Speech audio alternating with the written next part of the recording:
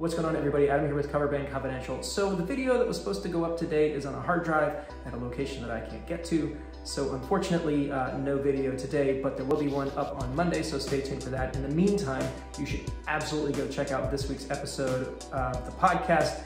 Uh, we interviewed Alex Auxier, formerly of Orange Amplification, having a conversation about gear endorsements, so you should definitely check that out.